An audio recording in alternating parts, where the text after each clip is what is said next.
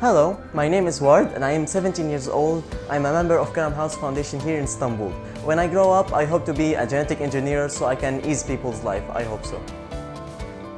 This Giving Tuesday, I'm asking you all to join Karam House Foundation's movement to build up 10,000 leaders in the next 10 years to help and support people and students just like me to achieve our goals and dreams in life.